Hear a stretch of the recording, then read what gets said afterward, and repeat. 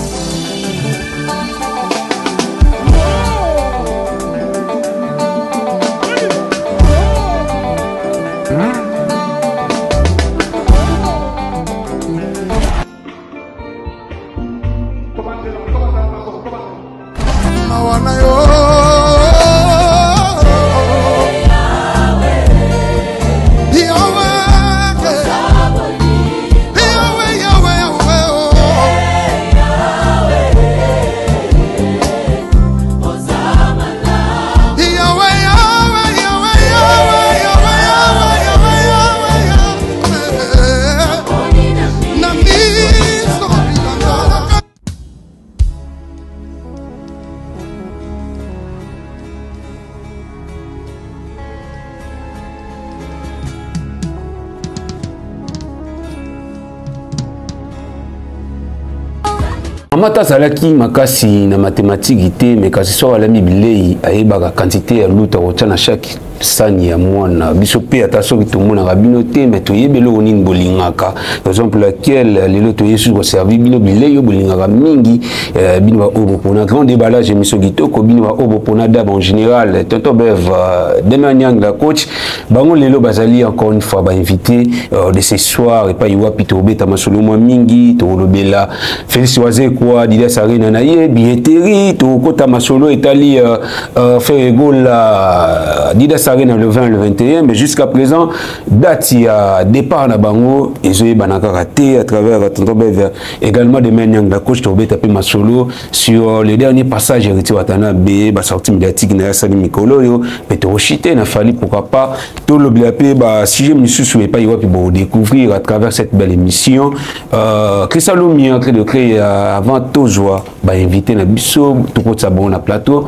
toza premier spot publicitaire et après to kota poto yamba ba invité na biso de ce soir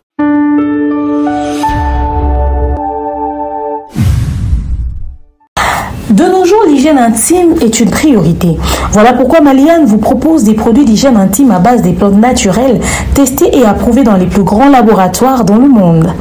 Malienne vous propose des thés de fertilité pour hommes et pour femmes, de thé pour bain à vapeur after accouchement pour soulager les maux de dos, gel intime pour hommes et pour femmes, produits pour les règles douloureuses, fibromes, endométriose, polykystie, myome, resserrement du muscle du vagin, trompe bouchée et j'en passe. Vous avez également des produits qui vous aident dans tout autre type de soucis gynécologiques que vous pouvez avoir. Ceinture abdominale, vous avez les les protège slip, les bandes hygiéniques et tous ces produits sont disponibles sur notre site www.malian.com. Passez vos commandes à travers notre numéro affiché directement à partir de notre site et vous serez livré partout dans le monde. Maliane, pour une hygiène intime parfaite.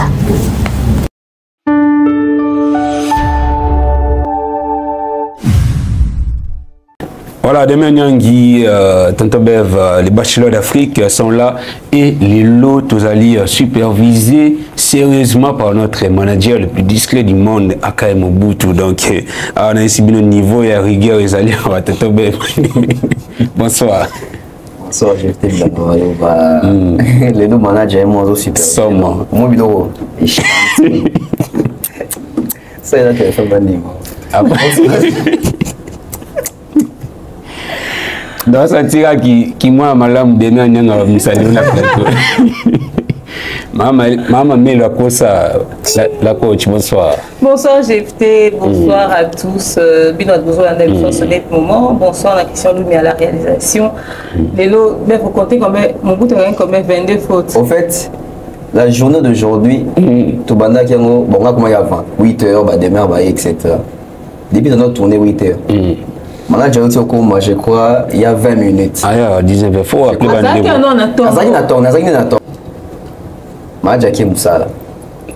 totikali ya mpe eh, da propre wapi nayebisi yo sans faute hmm. maja azongi ati oyo ya 20 minute ah. maja adesele ata 26 faute oyo oh, longola a ah, bolongola oyo oh, oyo oh, esali nia oyo esali nia nayebisi yo botaka botaka ngambo ya jefte nde hmm. eza bomwaka batableau eza ndenge ezalaka nayebisi bino jefte akangi bouton tia numi oyo baka français christian français ngai depuis na bandaki koseka hmm. lemere nayebisi bino onde batye oleme nalo wana inspecteur akoti na salle professeur riguer professeur enfile apona misapi kaka bana mayebina oyo apesa boni réponse adefane ngaibiso ezalaka bongo te na masamba wana l'époque sikoyo ezali nde nini oba inspecteur obaka koinspecte inspecteur aye na école tout ça tout ça sikoyo professeur déjà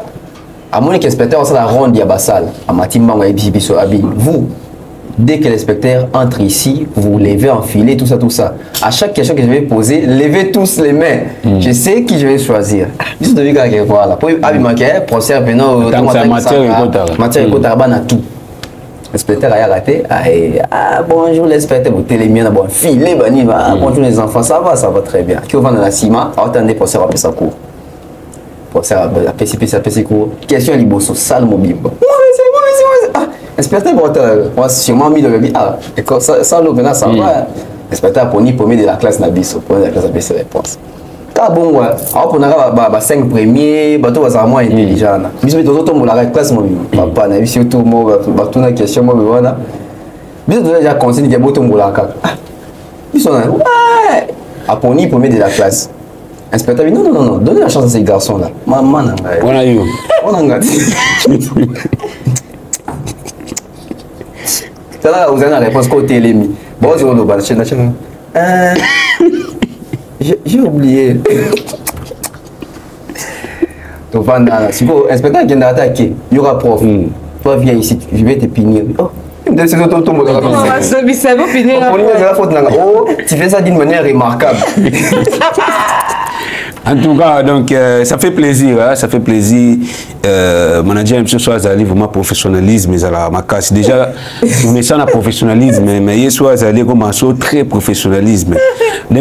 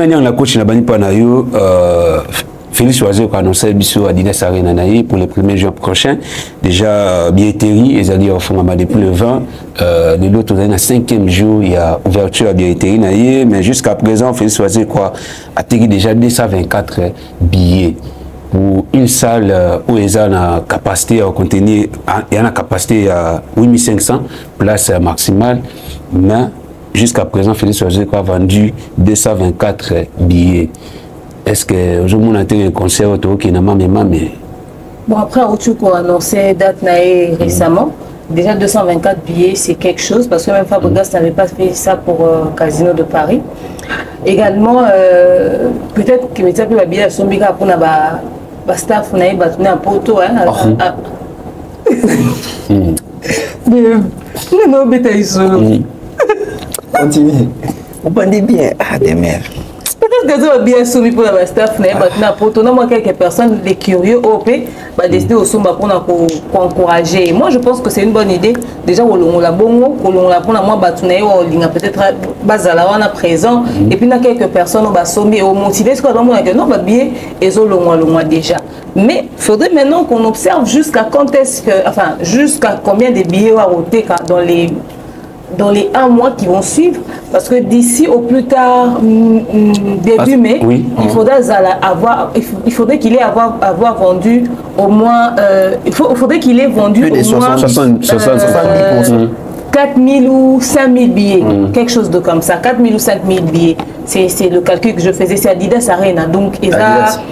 Euh, nde babaki maximal na bango 8500 mm. donc soki ateki 4000 il est dans le bon soki ateki 4500 5000 il est aussi dans le bon donc d'ici mai il faudrait déjà à enregistrer bachiffre wana on lui souhaite bonne chance euh, bon vent même si nga nalobaki vraiment naopesa zéro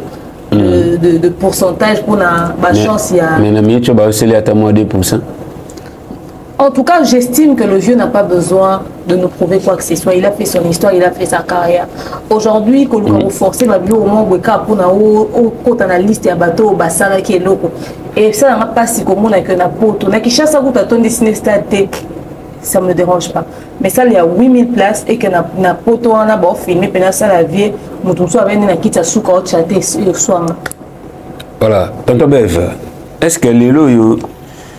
ndenge euh, feu vert nakoloba accès epesami na baministère congolais ya kobeta na europe oyo bazala bloqué pendant plus de 14 ans mhm. est ce que yango nde esali ke na tout le monde fatiaka date ou bien faut tya date parce que tu le mérite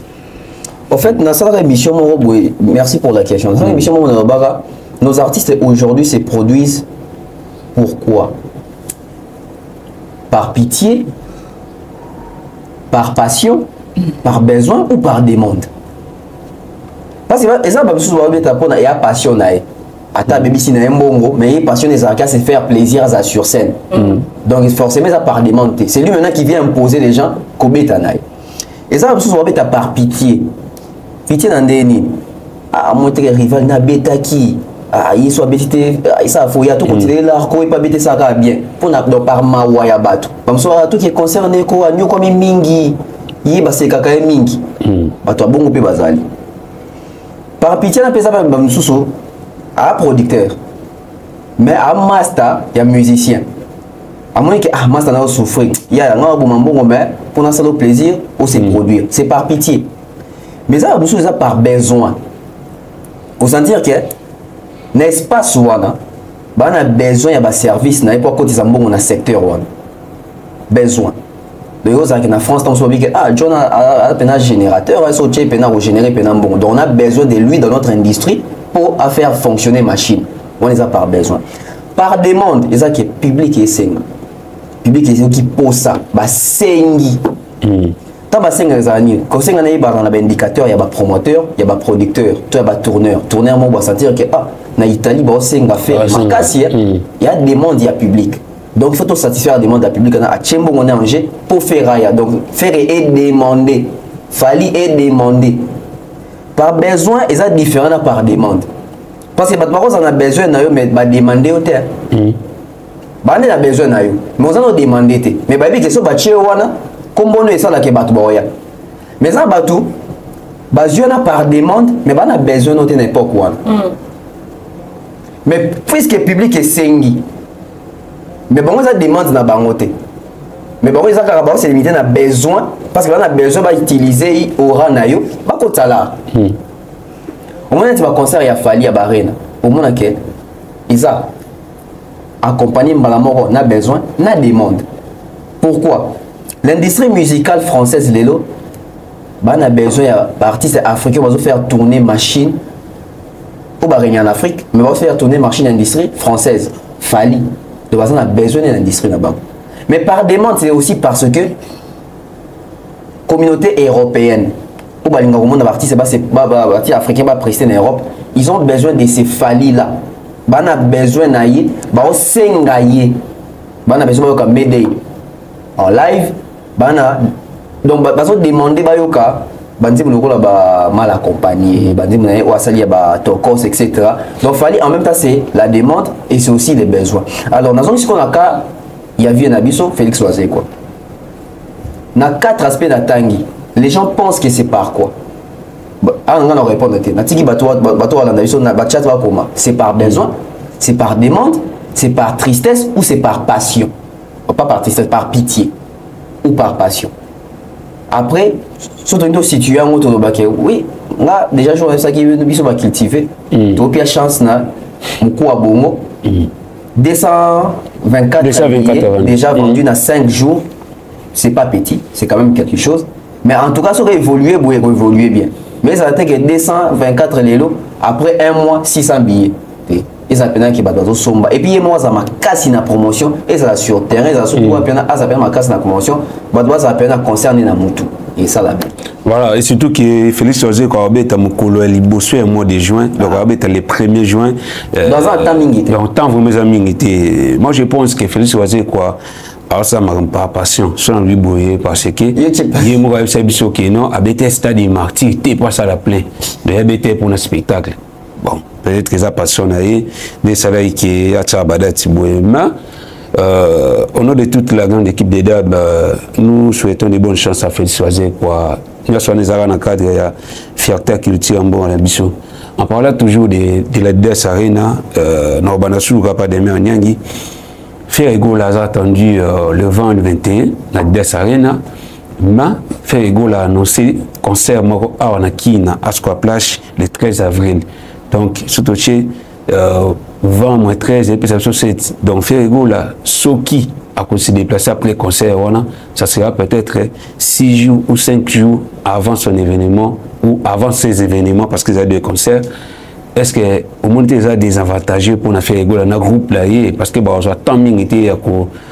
ya ko s'acclimater na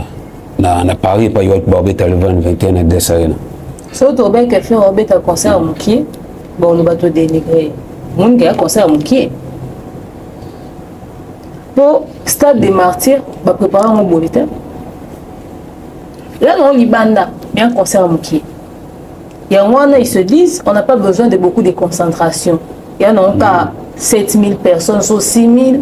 et puis ya nango kaka na mwa sale moko boye biso obeta dia stade mm. et tout donc tobeta dia 20 mai donc eh, awa soki esika bakenda koloba mama denise tolie ete nde 20 mai mm. tu vois donc c'est-à-dire bayebi kaka na osala mokie donc bakotia yango mayele ebele te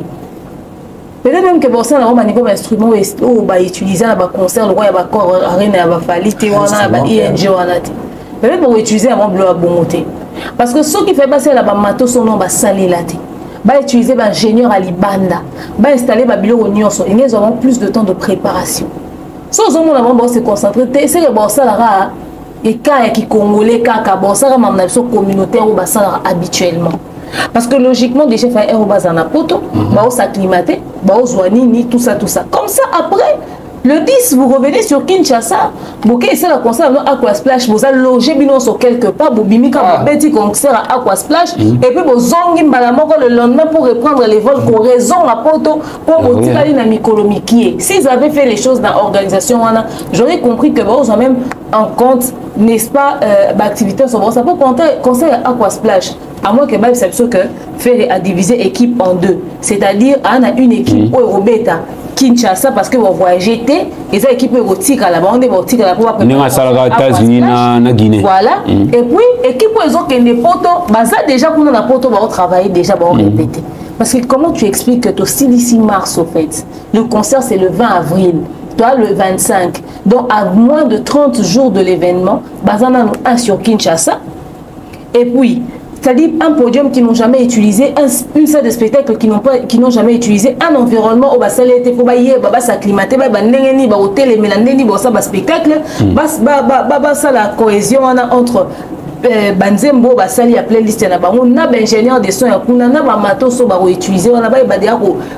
kokotana déjà dans le bain de la chose et en plus de ça bazwi événement le 13 pourquoi yango concert oyo akoaspace efuta bango combien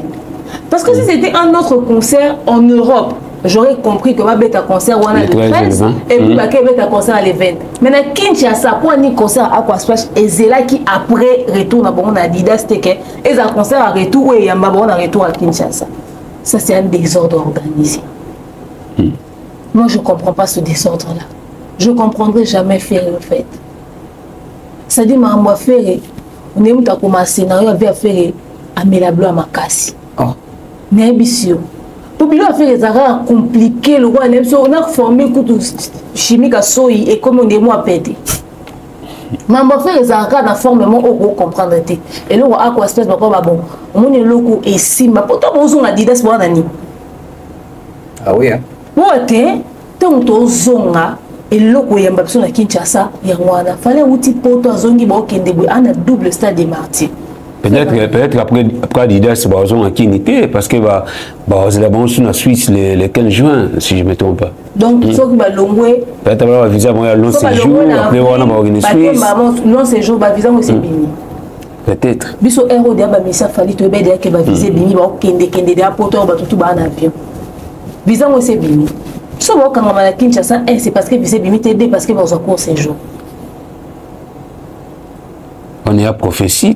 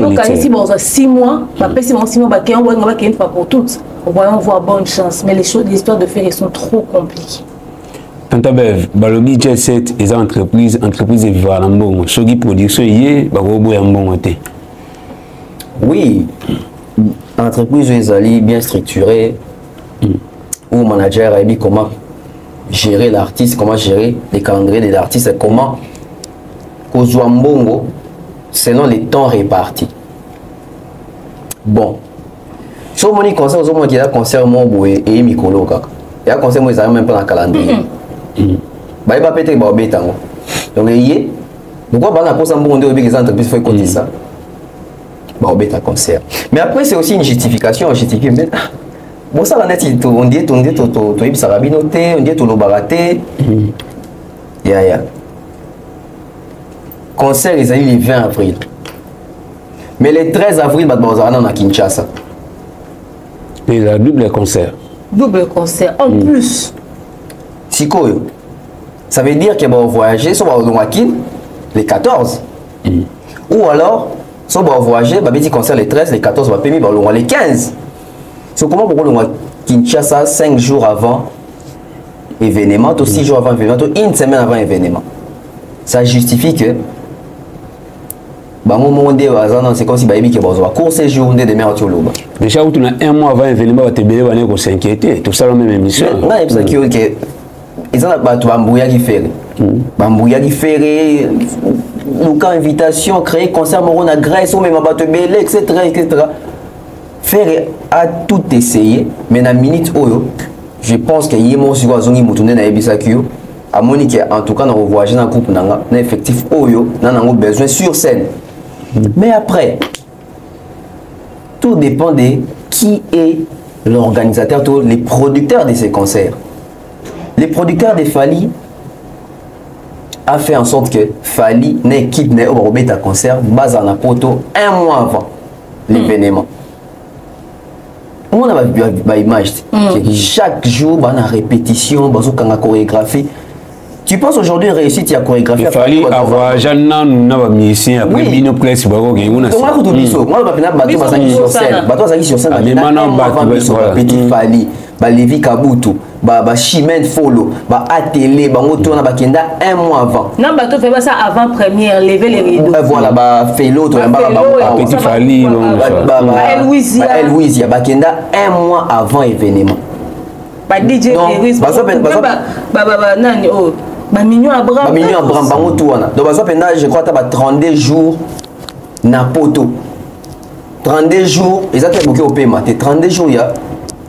touti na chaleur mm.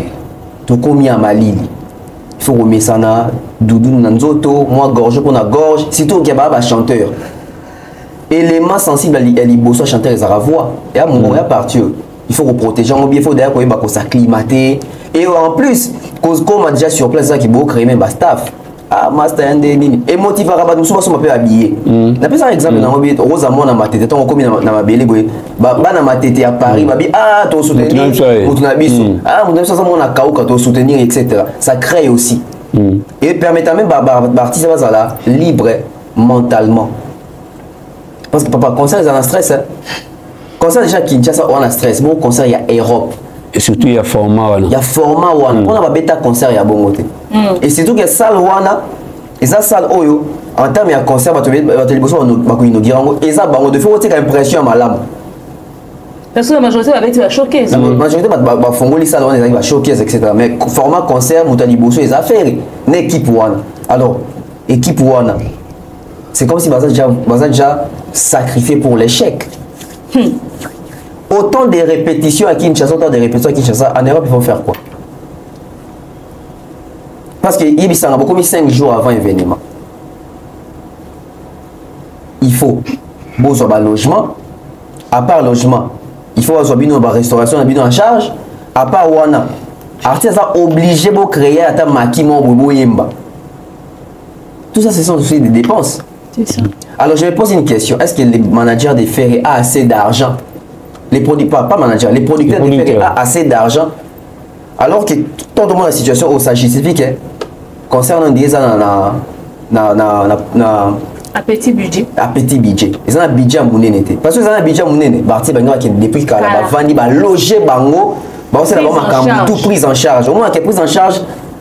Eh, on dirait eza mpenza ke to tokomi boye sauf qui peut ah, ya nde nini bon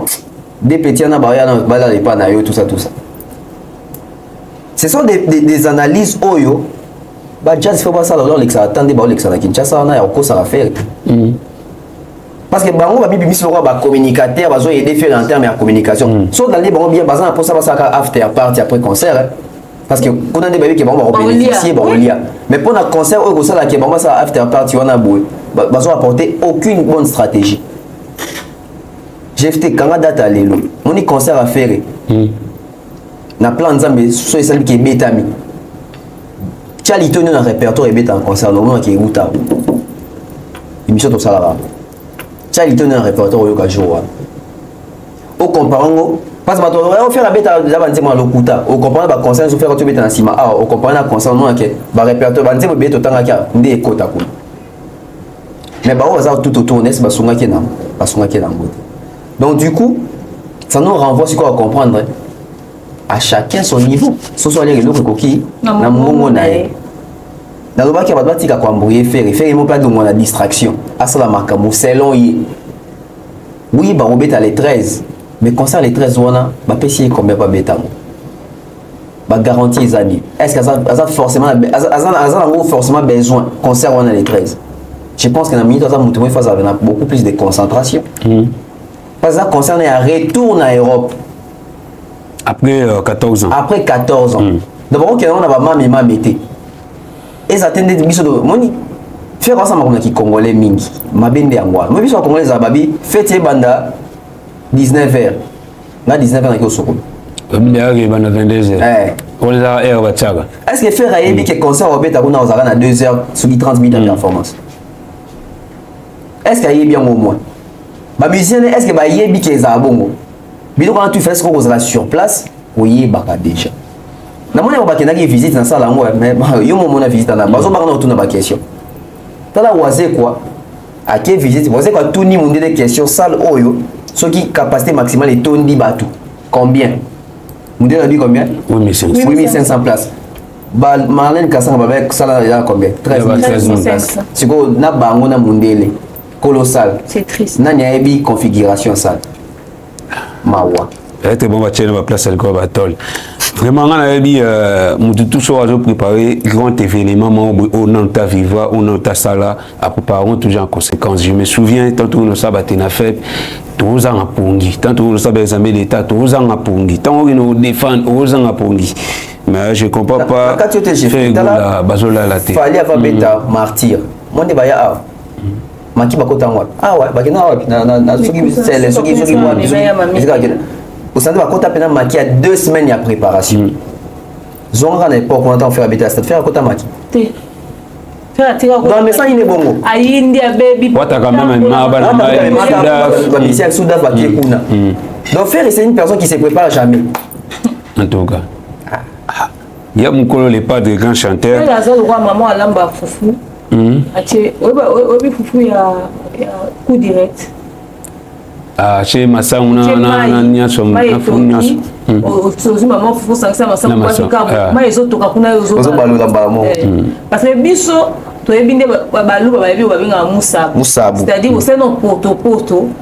apo etoki apo osangisi otie etoki apo obaloli mpe aza mama alamba apo aku direct mpe aza mama alamba hmm. matembele atie na poisson na kati atie mafuta na biloso etoki ebela mbala moko tolia azwaka te na préparation eloko te toutefois bonne chance na lepadre hein, bonne chance na groupe le mobimba espérons que concert wana eleka na babonne condition esala bien nalobaki yango l'autre fois na otenika ke fe egola a plus de 17 ans de carrière jamais tokoki kolinga lelo fe egola azala humilié euh, na didas arena tandis qu'il a plus de 17 ans de carrière ya mokolo sala âge donc euh, espérons que mamna se eleka bien christian lumia pesa biso deuxième sport euh, publicitaire mpo tokotana de wana ya partie émission na biso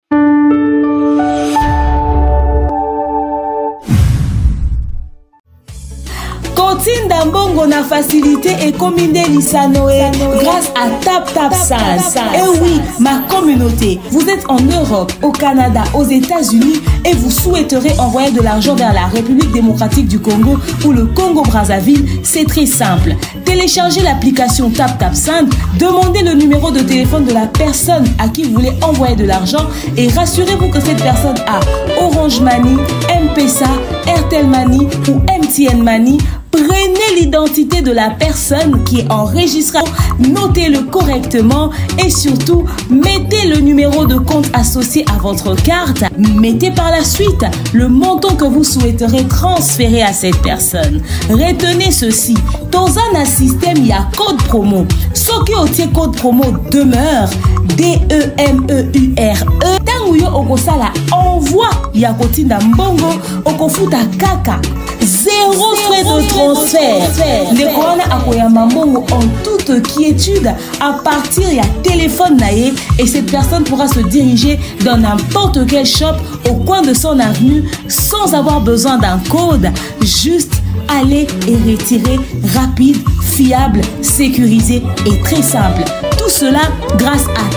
Sand. Avec Sand, pas de problème de connexion, pas de retard. Une fois au Tindi et commis, tu tapes, tu tapes et tu sings Code promo demeure. Recommandez-le à tous vos proches. Tap tap simple, simple.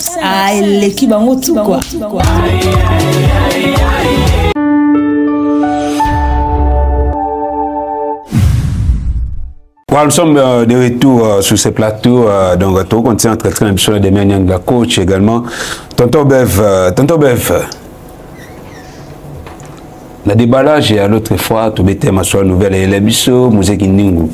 arrêté euh, epai euh, wapi tobandi mpe komituna baquestion awa nani aza réellement euh, derrière l'arrestation de muse kindingu parce que toyebi muse afinga tellement bato ebele trop mais par après tokoki comprendre que non c'était majabu oyo ekendeki koporte plainte euh, contre kindingu euh, pardon kindingu mpe baarreta kindingu mais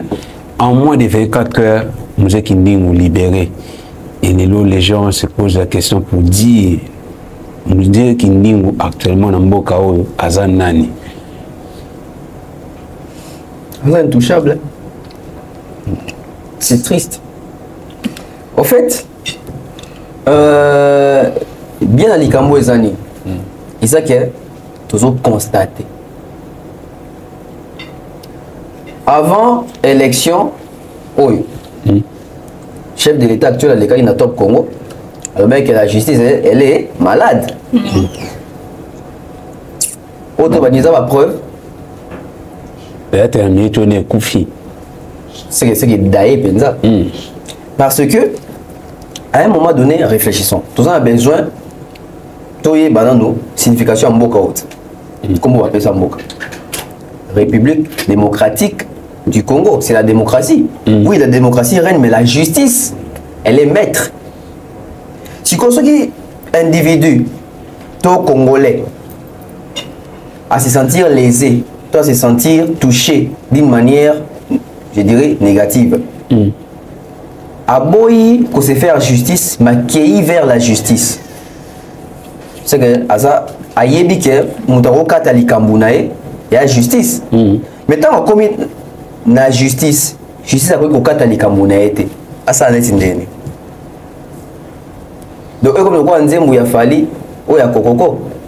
nazalaka magistrat nakataka makambo ya bato mm. mais nakoki te kokata likambo na ngai donc oke esika ifo bakata yo likambo bakokatela yo likambo wana te ifo osala nati ndenge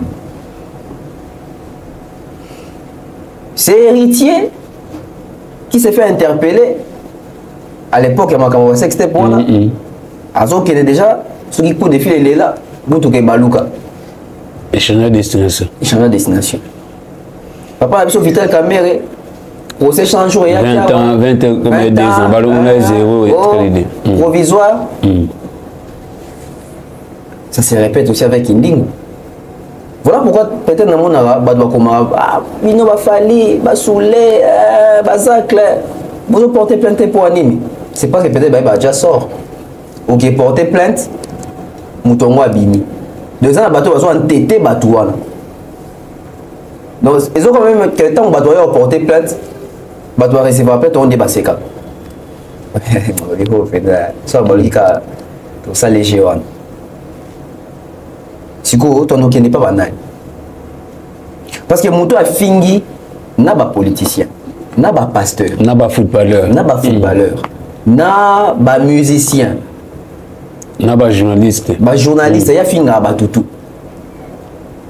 au lieu à servir d'exemple parce que c'était vraiment un, un, un, une meilleure façon ya koservir d'exemple na baoyo nyonso oyo basalaka makambo bongo na internet ya kofinga bato tokwaki mpe na piste ya malamu mponi tokwaki na piste ya malamu parce que c'est la personne la plus nakoloba qualifié oyo lelo asimbi réseau sociaux na kofinga bato donc représentant valable ya bacivil représentant mm. valable donc moi nde ezalaka na époque ya jésus barabas ba, ba na jésus mm. donc meilleur mpenza nakoloba c'était vraiment la meilleure occasion justice na biso ezwaki mpona kotranche likambo oyo n'oublions pas que ici ba loi moko pe c'est kotaki déjà ba loi sur euh, makambo et eh ba ben, euh, cyberharcèlement mm. loi oyo bavotaki mpona makambo ya bainsulte sur baréseaux sociaux badifamation biloko mwa bongo mais ici que dit monsieur bosembe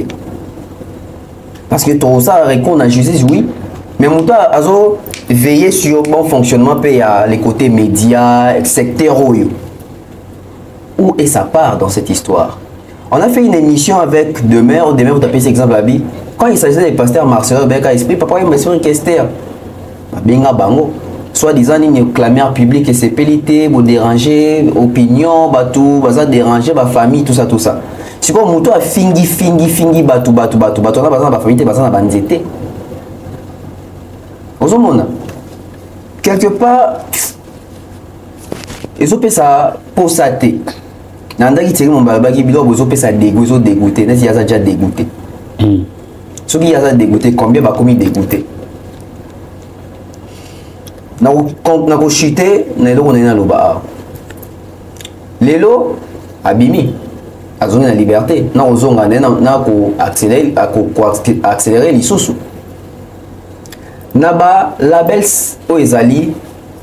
na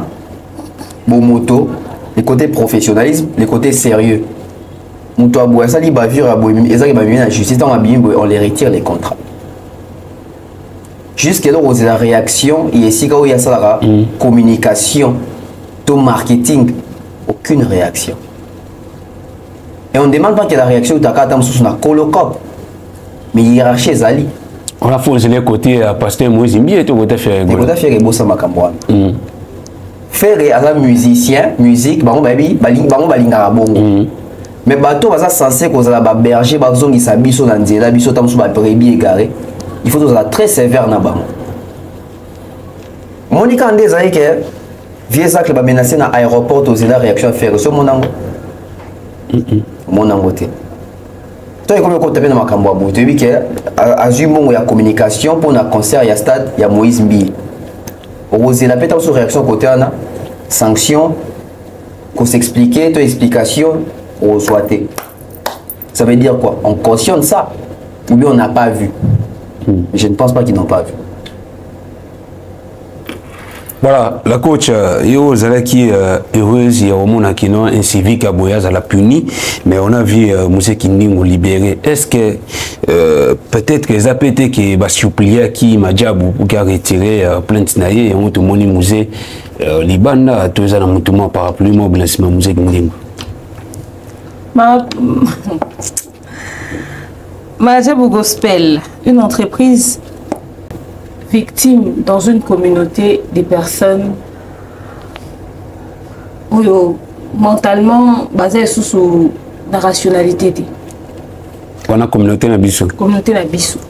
Mm. communauté oyo mafinga ezwa esika communauté oyo mafinga ezwa place na yango cestadire moto aofinga baobanga ye koleka moto akosala analyse na ye normale moto aolukaka azala en bon terme na moto afingaka mhm. bakobebana ne na demeure bato baa na respect envers bafingi que biso bato oyo toza bo bato baa na considération na communauté envers bafingi la voix des insulteurs ezomata likolo koleka babiso baoyo mais biso so tolobi na bato le 4 vérité komi to manque ba respect mais bato baofinga bato ba insanité baokende même plus loin basengi maajabu pardon te au fait maajabu ne savait pas ah, eza maajabu te maajabu ne savait pas que ils ont porté plainte dans une communauté oyo justice elingaki esalama moselo baatente na bango te bamilobaki baza entreprise ils vont pas peser de leur poids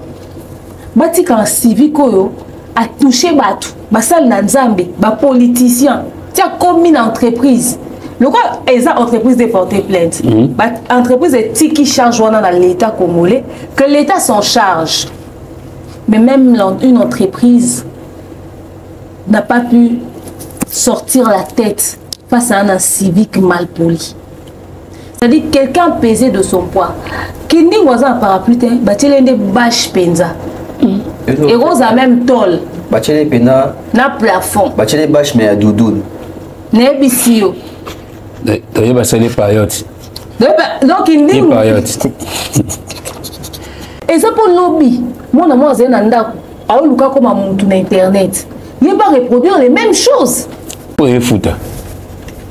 hmm. abima ah, ne kaka ozofuta mpiso mpe bakangi yo obima na yo hmm. so bakangi obima na yo ete na communauté eza bakangi moto eh, eh, kende na yo obima no kaka au contraire kutu azwi succès mpo personne moko influente nde akangisi ye tu vois dans quoi on est on est tombé bas dans cette communauté un incivique botia ye hors d'état de nuire parce que lelo mosala eza te na mboko bato ebele baa na misala te très peu de personnes travaille moto to oluka esika olia lipa ntongo ntango omoni ke soki ofingi nao fere parce que okotela fali to so ofingi fali mpo okotela mm. fere to ofingeli meme paster moïse mpo lelo ekomi nango nde kuna te ekomi ngo nao bato baotya yo ka bato baobengi bakabeli yo mwa bakodi so bakangisi yo baobimiso mm. tobeta lisolo ya moïse oyo basaleli soki moïse nani kindingu oyo basaleli ye démarche nyonso mpo asala 24 ans na prison te abima mais ye de civique oyo mpe azofinga baofinga baza bato na ngambo bato ya bateatre bakangi combien de personnes na bamembre na la police bake parke bake makala babimi tu sais qu'est-ce qui se passe parce que bango baza bato balobelaka sila bazofinga na ngambo ya bellevue bellevue o communauté eniokola c'est-à-dire communauté mobimba evandaka ezomona nde baofinga bellevue quelqu'un qui n'a rien fait tolai tolamuki ya deux jours atoki o oh, bellevue akangisi mutu bazofinga bellevue na réseaux sociaux alo bellevue yo okangisi motu nga nao tosololi ti lobi na butu mikolo oyo nyonso nga nao tozomona nakangisi nani ere nini mpo nasala yango nini ayebi te ye mpe azo aprendre na réseau soso kakangisi motu tadi bato mosusu basali makambo na bango ka ye nde baofinga communauté mobimba emona nde bafingaka mwasi wana me ntango bayoki ke ye akangisi bato bafingaka ye parceke bato wana bakangisi bango na bato mosusu bafingi mm. me bafingaka mpe bellevue me to bayoki spéculation ke bellevue akangisi bato bafingaka ye balobi azomimona nani ekomi mm. nini swani eza asambelaka akokangisa bato ndenge nini donc yo yaka na ofinga humilie dénigrer harceler parce que les gens savent pas que le cyber harcèlement tue mm. moto wana ana droit ose défendre te ana droit okende na justice te abimi hypocrite amotema mabe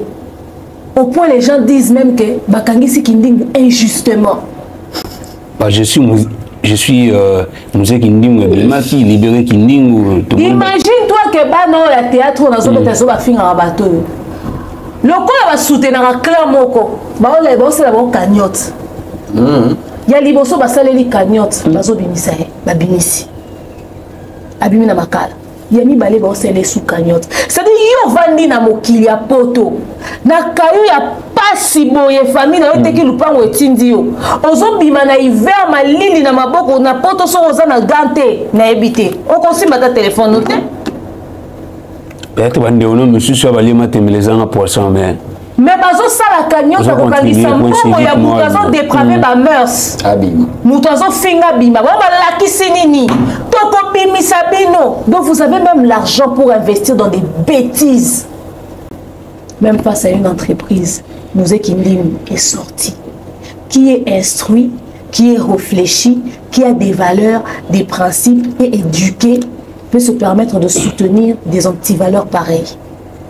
des gens qui dépravent les mœurs à longueur de journée. Quelle est l'image du peuple congolais que nous donnons Même face à une entreprise, lobi siko so mutu mwa silika bi olela ke kangisa na beti soka soko okufa na okufi mm. ba bwa ki to ba nolokota ni bibembe na kata ba villa Kinshasa. Et toi ya bambaso komata. To ya o mutu amona ki na vombi na bwa bambaso. Vombi na bwa bambaso. Mm. Ozomona siko ba pratique occulte ekota na makambo. J'ai fait bilanga maloba. nazalaki na descente sur terrain ya fondation ni, eh, eh, kinasha hmm? ya mama ya mama majabu alance fondation na ye basalaki première euh, ouverture na ozalaki vendredi et plutôt samedi dimanche bake kosala don na orphelinat moko la main de la compassion na selimbao nga na bellevue candidat patrona tokendaka kuna nga lokola naza responsable ya communication attaché de presse naye na accompagnaka ye presque partout tokendaki kuna kosala ndenge asaka chaque année afutelaka bana soki botangaka ata akomisi bino afuti na frais scolaire tokendaki mpe kofutela kelke bana kuna ya orphelina wana ebi lobi tokomi kuna na baoluka na tala orphelina na zoba elongi echangeable elle a retapé tout l'orphelina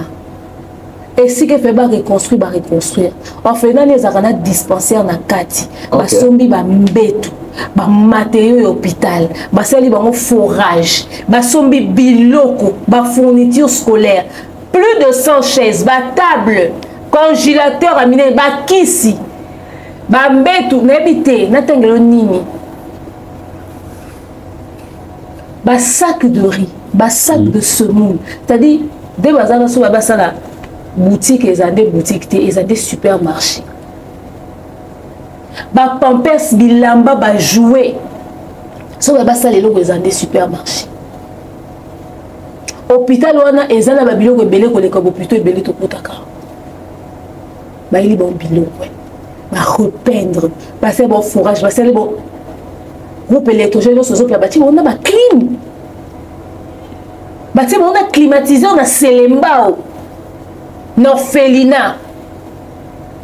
mosana salelo ya somo naotala naoki nzoto malili mama maria mboni pendant ce temps une entreprise qui a réduit le taux de chômage na république démocratique du congo baza na plus de 1000 agents oyo bafutaka chaque mois basali majabu gospel oyo eza ya musique gospel basali bino majabu cab ya transport mm. sans compter baentreprise ya bango misusu oyo nakosite te bainvestisa na immobilier na mboka oyo lelo bajeune ebele oluka yembela nzambe mpo ayebika soki osala nzambe ma aoyemba na maajabu azwi mpe mwa succès akomi mpo oganye mpe mwa bacontrat une aussi grande entreprise qui se respecte comme ça, aussi influente aujourd'hui dans la musique gospel dans le monde. Quelqu'un qui vient ternir des gens qui ont pris leur argent, bah, pour investir dans la Côte d'Ivoire. bakoki akoki koinvestir na cameroun mais bakoki koinvestir nakongo ataka ata braza so bakendaki ayor balingi bazala na respect na considération mais dans la république démocratique du congo vous laissez un civique mal élevé mal poli qui traîne dans les rues aucun qui n'a aucun niveau d'études et vous lui donnez cette valeur là face à une entreprise, on le fait sortir sans même l'imposer des excuses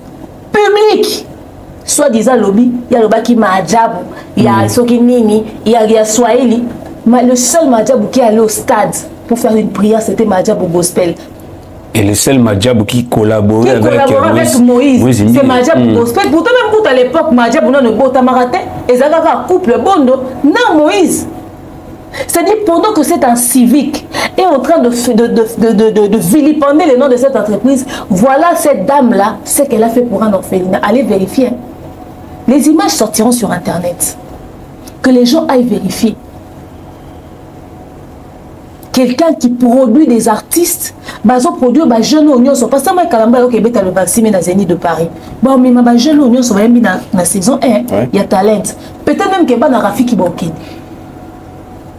abeta na stade de martyr le 27 juillet bana rafiki mpe bozala bana ya maja butalan bozala bozopesa lumière na ba jeune une entreprise aussi sérieuse qui se respecte regarde comment est-ce qu'elle est traitée etala courage oyo omoni mutu soki akoti prison efo abanga mm. aloba te mm. ngai nakoti prison boye nalapi mais tala assurance oyo aza nango na baepole na ye opesa remerciement obanga te déjà mutu mutu bakangi me asala live na tiktok déjà azali déjà na assurance ya makasi mpo adi tobi mm. eza parapluie te basali ye nde mpenza salle d'attente nayebi te so bato na bango so payote ya duduni parce que ce n'est pas normal une telle assurance je suis triste parce que soki kutu bato bainvestir na mboka oyo baza traité boye ebongo biso mm. tobengaka chef de l'état yo otala makambo oyo epuis so bobimisi le même jour boimpose asengaka pardon na solite ube boyebise ndenge obimi bevandani ekanga monoko mm. ye kuna nzela nakomi meme mpa na ndako balobi aye na bapreuve te hmm. donc mpo na bango preuve ezali nini batya motu mbeli makila esimbama na maboko mpo na bango humiliation injure eza déjà délit te mais c'est grave ce qu'il fait le mec qui n'a pas insulté qu'une personne soki siko ebi eh imaginez vous kafinga ka ba personne influente soki so bato wana nyonso baya kopese de leur poids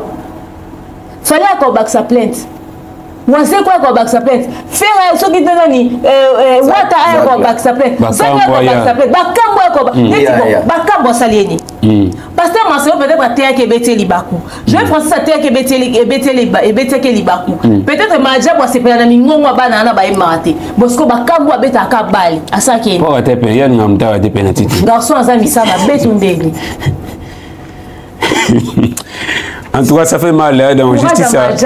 justice à mboka na biso justice à mboka na biso vraiment ezo motiver allez tango majabu elobaki que hmm. ba oke kobeta majabu saison 2 talent saison 2 na poto tout le monde oh pona nini bozo loko na biso bo mema ngo na mboka ba paya pona nini boli bosala ngo na Afrique pona voulez faire ça en Europe vous les Congolais vous êtes des ingrats vous les avez insultés vous les avez traités de tout ici un civil comme Kindingu se permet de toucher à leur notoriété ils, ils osent essayer de, de, de se défendre un tout petit peu mpo na nini basali bongo bango basambelaka donc bato bavanda nie batalaka nde mafinga ezozwa esika na kati ya communauté to esu na esika orespire te toza na esika otya likolo te ti wapi makambo oyo on est asphyxié par les injures on est asphyxié par toutes ces choses non mais après ntango ekoma na communication ya mike kalambay na tour na ye soki nabi te ezala bongo soki esalemi ke bato bazala na communication nde bandi koatake mpe moïse en tout cas batika batikeke ebongo makambo okangisa bato eza moto okangisa moninga aza esu te opération tout à bordure active eh. eh. mike mpo opese na poa na ye mike mpo aza motu te ye mpo aza na relation ye mpo aza congolais hmm. ese mpena buzoba eza exclusivité motu kindingo kasi ye nde aza na exclusivité bavocabulaire oyo efingaka bato le mosusu ye aza novice baexpert nango bakozala en tout cas na minute oyo le seul niveau oyo nanu kindingo atouche te ezalaka présidence tozalaka nde afinga ah, président de république parce que wana ngi naye mwa parabole baministre ah, bafinga bafootballeur bafinga bajoueur bamusicien bajournaliste euh, tout le monde déjà finga pa musée kindingo nanu akofingama mais ça fait mal euh, babétise ya boye hmm? bosemene pala mais mpo na paster marcelo kaka mpo alobaki esprit wemba na esprit emenea wana paster marcelo ake esamba na biro ya bosembe mais babavure tuki ndenge osa bosembe omona te mais na mosusu biso nde tolobi boye biso peut-être omona mais wana omona kaka te moi je me pose la question pourquoi jusqu'ici bosembe se tait face à tous les dérapages de kiptini alembi aolemba nini christian lumela namoni matension matiki makasi kiitisa wana na sport publicité ya suka tozonga toshi te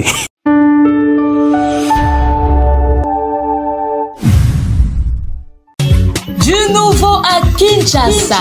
pour vos cérémonies, les mariages, les concerts, les anniversaires, les funérailles. La solution, c'est l'agence Risa World Service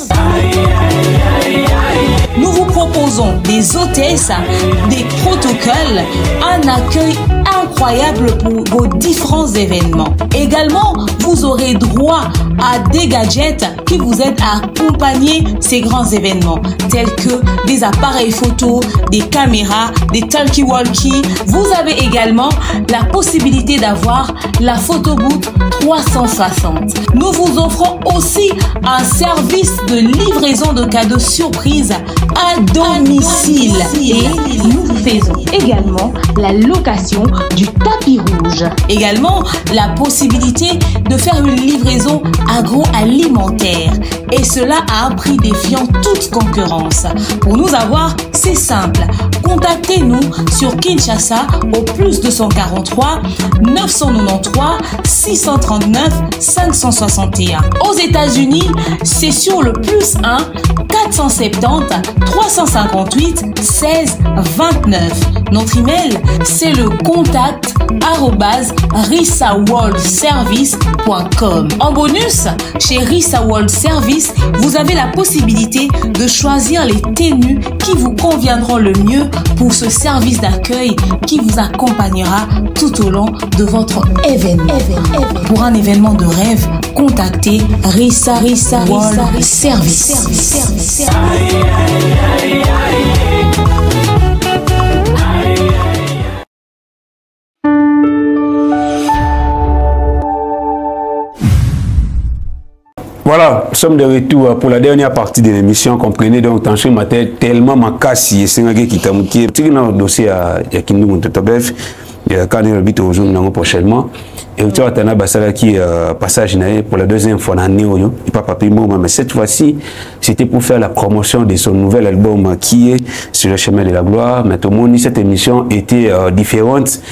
na émission oyo asalaki liboso na papier moma cette fois ci héritier moma ayaki na groupe na ye bayembi euh, d'abord baimpression eza nano nini ya komona héritier watana de kointerprete banzembo na ye tandis que album ebimaki esalaka une semaine apa marché le marché mais ye na bamusicien na ye bamaîtrise vraiment banzembo nyonso bayembi yango kitoko Au fait, ça c'est vraiment la promotion à l'ancienne. Hein. Ndenge Salara penza que artiste obimisi ben album na yo. Yo moko leki na TV, on dit ko déchiffrer banze mona yo pour pesa ba tout feeling. Badoka elengi ya ya album. Ozo ya ti mm. ozo tekela bango album. Mm. Opesa bango posa wana ozo attirer bango. C'est vraiment euh, une stratégie oh la musique à Congo peut-être sauter hein. et comment on te soit album na ye. Tant soupe na TV on l'éclater.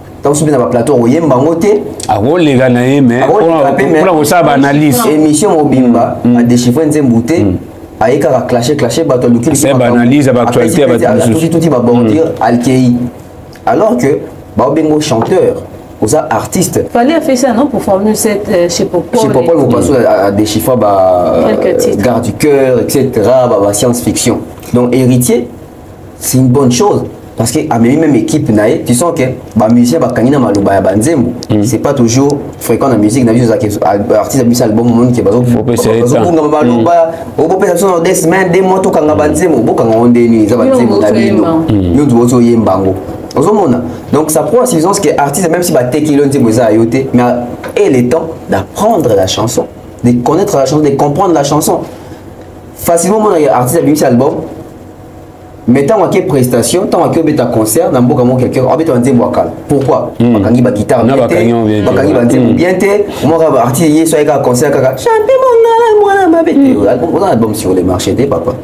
kaka exemple exemple tokopesa mpe na ferre tokopesa mpe na sele atika te utakanga nde banzembo sele aka na de nzembo oyebi na motu hmm. oyemba na fere na oyemba na fali hmm. akoyemba ezo didebut ti jusqu'à la fin banzembo oyemba na badeplique na bajino na bafabrigas maloba esi eki okoyemba ngo mpe utayebi te koyemba nzembo akotoka bi kwa nzembo nani vie ya yo yo ngai babongo oh, vie ya yo ozomona hmm. donc héritier watana de félicitation à lui Et tu sens que Héritier a sauvé l'émission de Papi Mboma. Ah Depuis oui, hein. un certain temps, les émissions de Papi Mboma ah, énervent. Mm. Mm. omoni biso toza bato tokoli mpe na elengi ya kotala baémission dimanche toyebi bilengi tondo ozelela yango baémission ya dimanche mm. oyebike na na congo web je crois azo na bosana te bozela te ye kutu te bozala no hd elengi jacqui ndala hmm. ah oui elengi bozela jacqui ndala après bozela papier bozela ba ba tozonga kutu mwa nsima kutu bozela mpenza bajoka bajoka eh, ah. bozela bavie ezakla lepo bozela bambuyi bwebwe bozela bamanda chebwa bozela bapole mukendi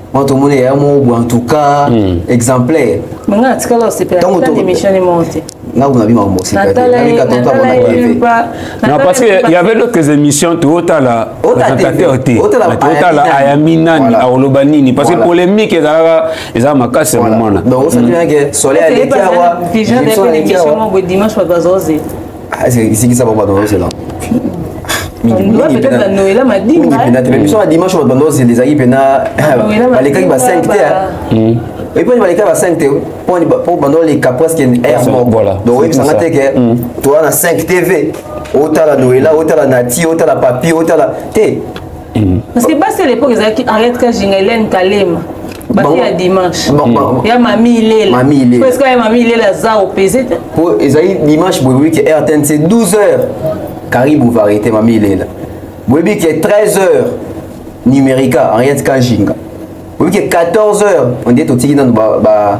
bamare 14 heures tokei pa nati nati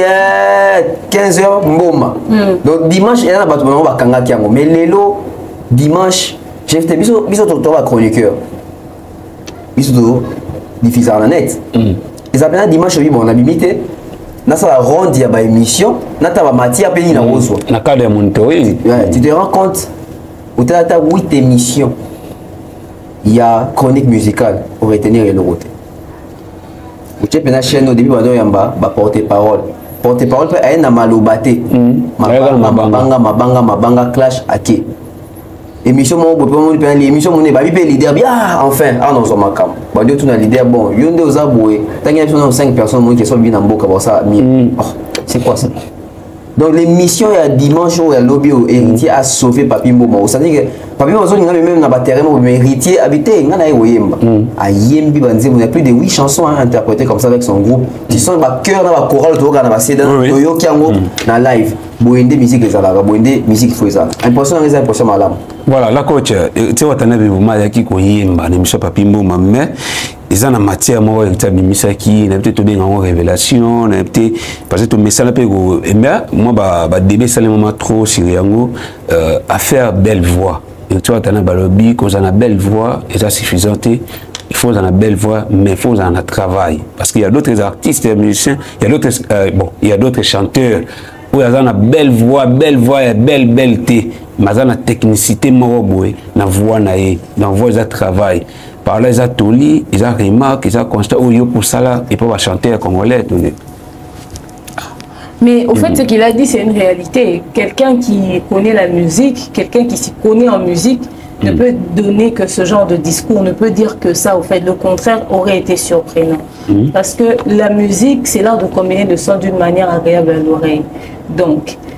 il y a beaucoup de choses oyo ezala il faut ezala en compte na kati ya makambo oyo bakoyemba c'est-à-dire technicité faut ezala euh, belle vie okoki kozala nango te mais oza na technique vocale mm. est ce que ebi que eza na bato mosusu aza, aza coach ya, ya musique mais aza na belle voix te moto mosusu akoza aza na ye meilleur chanteur en termes de voix, ah, la meilleur coach, mm. tu vois. Donc, ce qu'il a dit, c'est tout à fait logique et c'est tout à fait légitime. Et malheureusement, il a erreur au batebele basara. So, mm. qui vont, eh, yekuna zara meilleur voix, eh, boyemba, biangalo, yembo, etc., etc. Mais bon, on se rend compte que, à part la voix, il y a aussi la technique. quest ce que la technique, il y en a est ce que ya ceci est ce que ya cela belema wana nyonso ezalaka te biso deba biso amataka soki ndenge azomonte donc okoka te donc ye ndenge akendaka wana mata akendaka wapi ntango amataka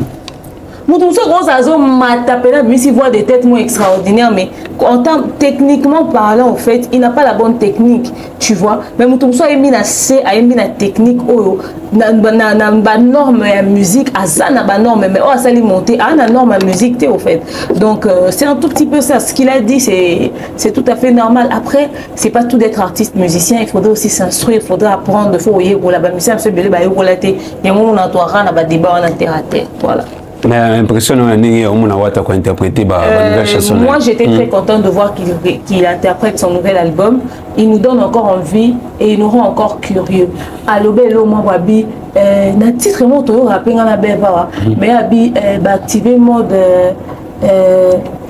makuta pa soki soki novelation wana novelation je pense que c'est bameli bameli mayoka pa ba oyoka bameli mayoka pa ba oyoka te etc etc j'ai rigolé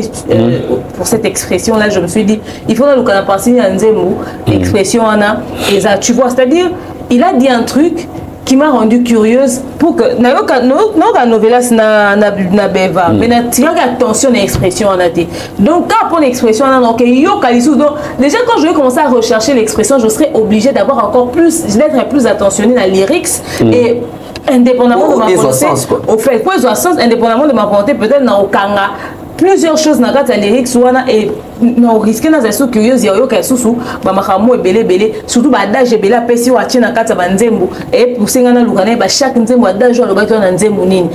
nati neti partout azokoloba que Eh, ba, jamais okoki kotikela ata mbwa aza mbwa akopa ndenge nini hmm, ntaba ya kanda hmm, asala sécurité hmm. okoyiba bino biloko bayebi na ntaba donc na seki na bi mais il faudrait vraiment que j'écoute toutes les chansons encore davantage pour apprendre plus tu vois donc les faits tu vois toutes ces petites choses ça attire la curiosité ndenge wana azalaki curieuse lisusu boye peut-être il y a encore d'autres personnes en tout cas euh, héritier watanabe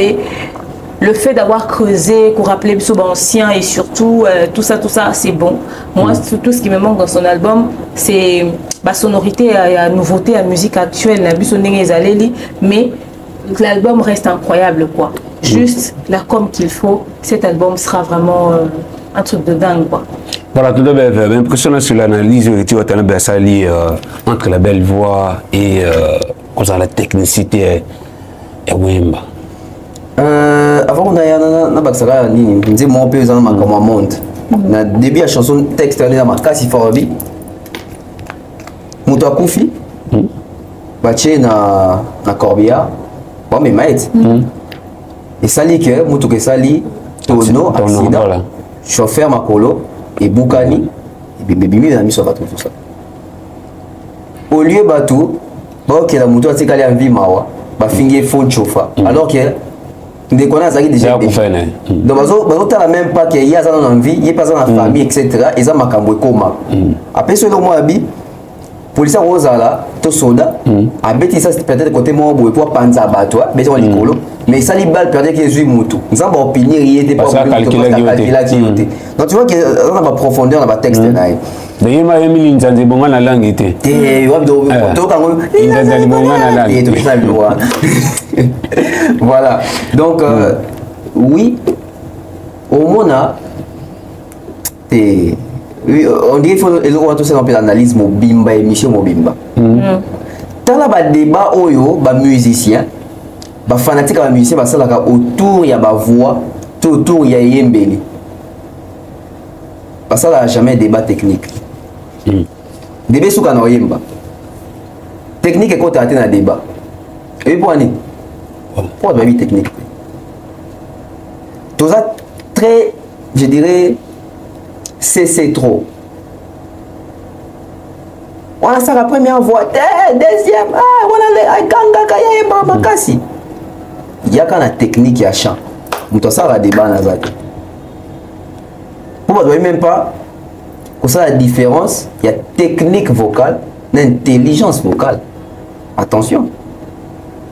makambo alobi alobi makambo moko très, très importante mpo eza baba chose héritier c'est que na musique ya congo bato bazalaka ntango na bango ya distraction na kokomparaka bavoix mm. oui okozala na très belle voix mais est-ce que tu travailles pour maintenir cette voix là parce que eza baartiste mosusu au fur et à mesure tondo konéglige bango ke baza ba mauvais chanteur batravailla tellement trop ke lelo bakoma incontournable baoyo mpe toyebaka babelle voix meilleur chanteur lelo mongongo nayeasenga nayembaka déjà danger jefte na mboko ntango tokolobaka eh, bafere baemelia bamanda chance nde bachanteur hmm. bafandi bao travaille bao perfectionne bao bazoluka batechnique ya sika lelo la voix la plus commerciale de la musique congolaise de tous les temps fali est ce que aleki bato to na koyemba est ce que aleki bato to na belle voix l'intelligence vocale na technicité atya na eyembeli na ye au moins moto akogangi donga meilleure voix tuna ye trophée nini esi agane na afrique ya voix nga meilleur voix tuna ye baartiste nini na baalbum na bango basi babengisa ye akoporte main force na ye mpo artiste na abénéficie na maka pas seulement voix même na exposition ya visibilité parce qu'il faut parler de belle voix bamiel son basoki bamiel de son bana bavoix badjani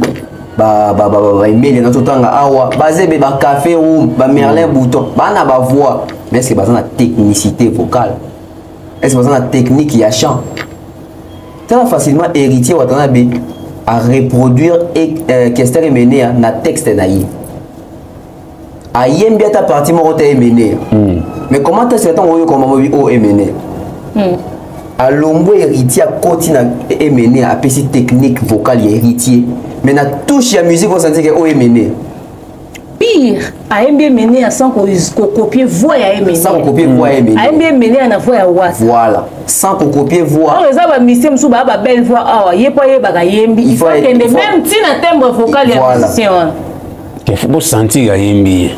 wana sikoyo kikongolais clonage musical kikongolais hmm. yoka neti carlito andoyemba banzembo pepe kale te hmm. mpo ni carlito ayemba te owa pepe kale yoka neti bachanteur oyo bamalage malage azala na timbre ya carlito mayemba neti carlito te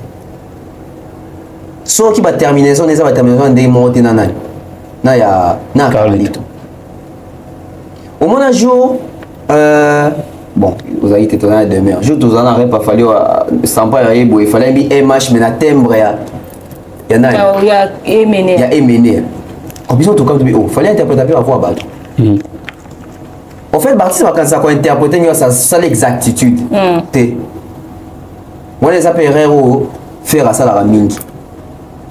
kesoi alingi ayemba pepe kali fo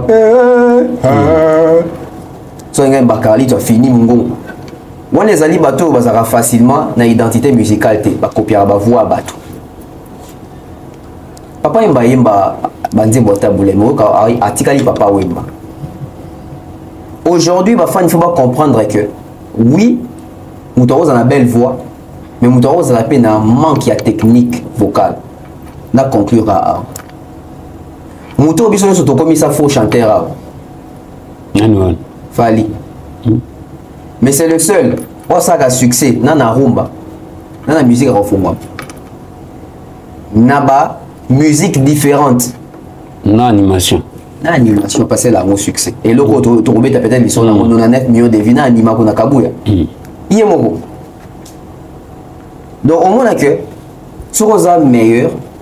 oza na facilité ya koadapte technique vocale to technique ya chant na yo na style nyonso epuis esala succès tomona baartiste ebele awa ayembaka bien na lingala ntango bapesi ayemba na français osentir ke artiste akokoma te meme na baniance oyo toyebele na lingala hmm. ozali kaka na balimite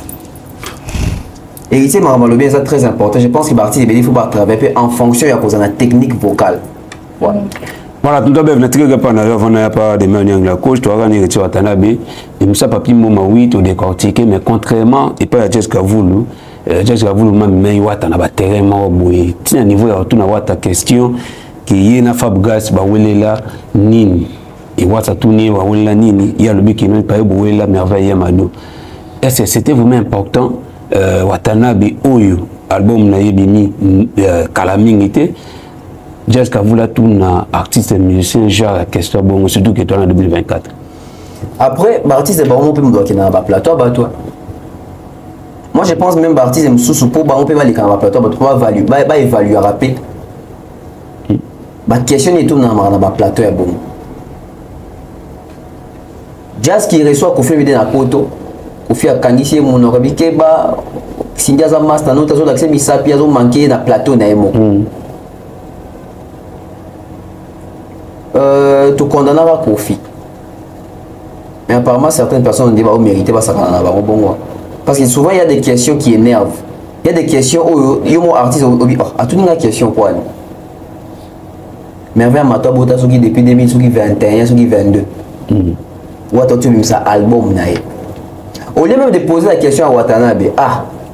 tomoni même na b1 ntango okende pa papi ou soit mikolo toyoki ke jack love azalaki na suspension ntango olekaki avant album ebima tomoni yo na ye azongi mpe azoyemba azongi to azongi te kesi sete passé nde bakestion kuta kotuna motu mm.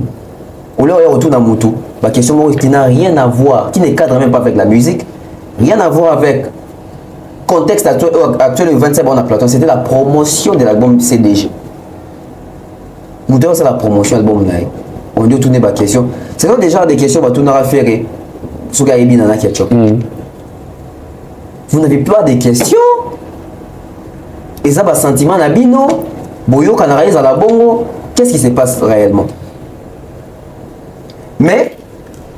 j'ai aimé l'attitude ya héritier osanzi ke héritier aza na attitude moko neti kayebisi eh, tala tosola album donc osanzi émission ezali mpenza éparpillé basimbi ya bazongi ya basimbi ya bazongi ya basimbi mm. artiste azozwa temps te ya ko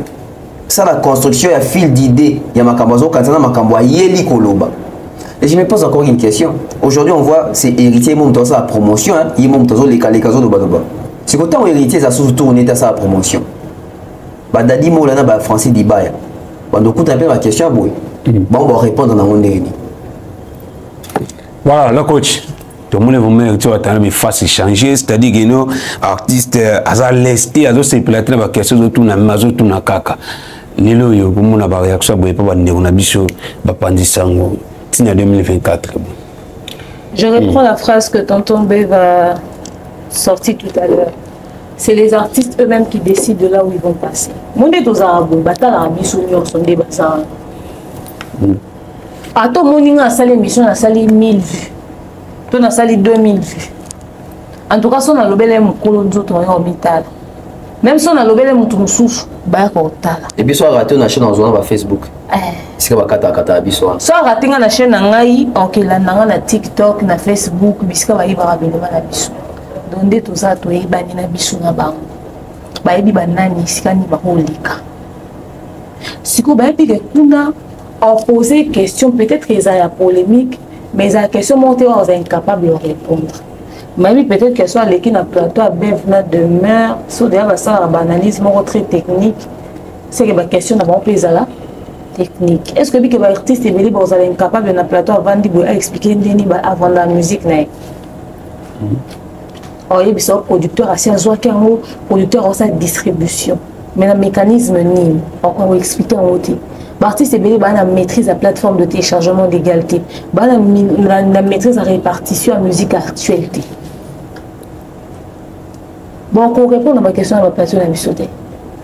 baartiste ebele bakoexplike biso masolo ya industrie musicale actuelle te et même l'enregistrement au studio comment est ce que ça s'est passé a expliquer biso comment est-ce qu'il a travaillé chaque musique c'est-à-dire na instrument nini nini koti nini babeti mpo na nini basali boye te mpo aniasa c'est-à-dire ebele bakosala yango te ntina kuta omona wata osala osala ozo explike album ne boye ka nde touta oloba tout à l'heure ebele bakosala yango te alors bayebi bisika nini bango balukaka koleka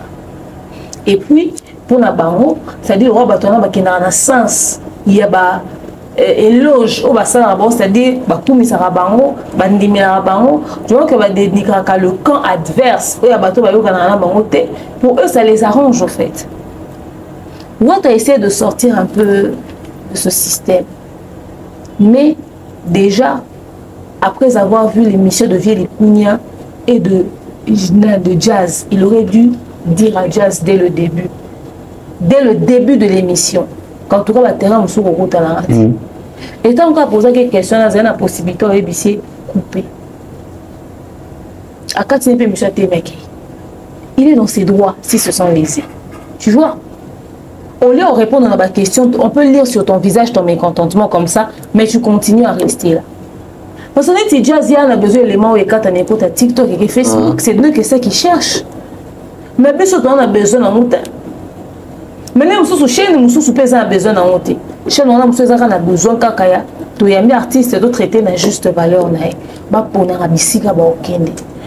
ba jeunes baza image par excellence ya ba bon présentateur d'émission na mboka na biso te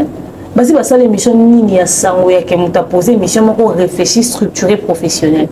baa nango te pourquoi ils peuvent pas rester autour de l'artiste et de son actualité neti boye qui émerveille ya mado dans ce pays qui émerveille ya mado dans ce pays en tant que danseuse anani à part kozala danseuse anani c'est-à-dire ovandisi moto lokola wata quel manque de respect mais mais jazz eculote aza na matière c'est-à-dire ovandisi moto lokola wata responsable hmm. chef d'entreprise moto aza na actualité na minute oyo asali album à succès moto to aza d'accord na yango combien de personnes baotelema balobaka album awata ya mabe c'est-à-dire na minute oyo asali eloko qui met tout le monde d'accord clan wenge banda ozela ka wana parce que faire afutaki c'est-à-dire yo moto abongo ya mina kiti noki etuni une merveille ya mado oyo asala basuccès lokola babibisi ya te na danse asali succès lokola balinda énergie te lokola basandra lina babote te et même si asalaki succès lokola monica céleste même ti ezalaki monika nde spéculation yango ebimi oke tu nango héritier na pourquoi mpo ba danseuse baa banani bazalaka bato baakompagnaka ba musicien bahistoire oyo esalamaka na nsima ya podium wana ndifo totya yango likolo totya yango mpe projecteur neti boye ngai boye nakoki yango ka lelo qu'il y a eu une histoire entre wata yamado et fabrigas et je trouve ça sale d'ailleurs est ce qu'il y a d'abord eu une histoire parce que c'est ce qu'il insinue est ce qu'il y a d'abord eu une histoire soki eza baspéculation soki eza barumeur et même si c'était vrai etali biso na nini bamoni kuna atata bani na bareponse mais soki oyebi biso nde toesinuaki yango na, na, na émission na biso parce que elobamaki quelque part biso tokozwa problème bamusicien baapprendre mpe ya koevitaka baplateau mosusu mm. parce que c'est bas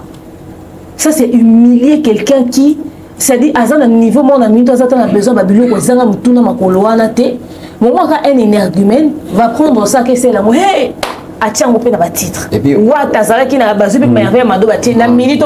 na minute mm. ozongisi ya mado na actualité mpo osani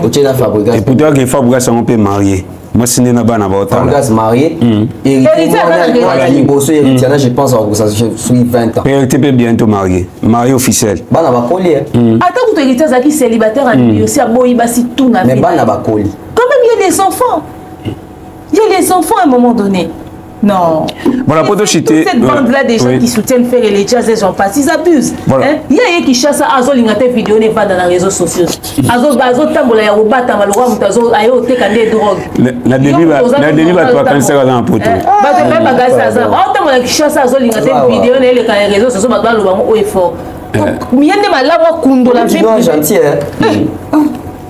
batiele mpela na se eh. batiele mpela na se ah. eh. teya mboka moko ya hospital mais ye nde sikoyo fa kundo ya vie privé awata atya yango na place publique nga mona page facebook nana opublie video ya ye hmm. jas kavula ndenge nga na kinshasa hmm. naopublie 5 video naye na ba 5 bilamba différent na bisika nyonso avali kasi lokola ye malamu abimisaka ya bato libanda oyo bato bayebi te seke totya mpe ye to expose ye c'est des bêtises ça voilà rapidement mpo tochite na, na dossier ya wata azalaki reçu également na rapa na odemer nazalaka na yo ala coach bwa moto mpo tochite na héritier watana euh, asala mpe euh, sorti milati mpe ya fanfan epai ya fanfan héritier watana balobi boye ntango fanfan atuni ye ke ndenge album producteur apesaka lar ya album lar ndenge ekotaka baproduction bacontrat banini est ce que bana mai ba musicien oyo baakompagnaka leader oyo baakompagnaka eti wata na bango mpe bazala na part na bango eti wata répondre na ye euh, d'une manière indirecte ke ye ntango ye ayembaka nzemba primis pawera na maison mare oyo azwaka lar na ye primis atie na poche eti wata na barépondre ke non lar ya production oyo leader azwaka etalaka leader bana mai bana part te nayebi te yo ozwa part ya bana mai to opesa héritier wana te na deux raisons nakoloba ke motu nyonso soki osala quelque part asignaka contrat akose mm. référé na baclause ya contrat na bango donc ce que héritier dit c'est un système oyo esalamaka na musique na biso ok mais lui le contrat qui le lit lui et ses musiciens ça dit quoi exactement Seulement, il y a de ces choses qui paraissent pour l'exploitation de l'homme par l'homme qu'il faudrait éviter de dire à la télé. Il mhm. fallait abîmer en émission, moi, le à 80%, ma mission est 20%. J'ai fait partie des personnes pour là, Non, bah, on a d'accord, ça peut être vrai, mais de ces choses qui se disent pas haut et fort. Parce que quand nous regardons à première vue, on voit l'accompagnement de ces musiciens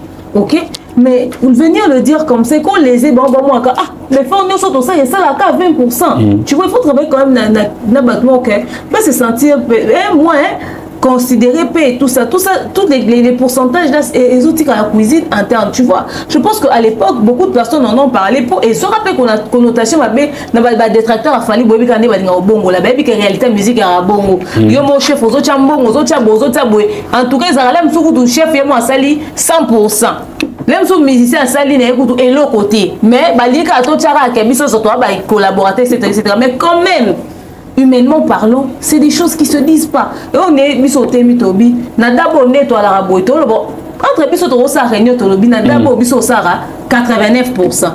ok mais sikoyo soki omoko na caméra tolobi na dabo ndenge eza boye te toza tosaka biso awa autant de pourcentage to tolobi na caméra bato bao bame tokutaka christian lumia kuna banda ntongo aosala montage tokutaka george tokutaka jefte azosala bemission ebe azoloba mm. nyonso bango basala eza kaka 10 pourcent tu vois un peu ça, ça donne une mm. impression mm. de l'exploitation de l'homme par l'homme que les efforts des autres omona yango te et c'est que héritier est en train de dire c'est pire c'est encore en termes d'argent au fait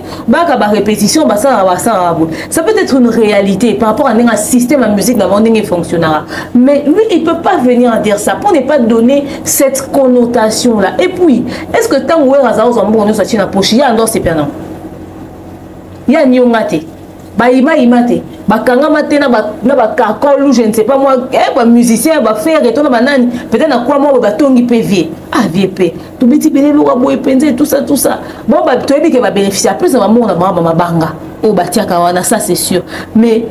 le dire comme ça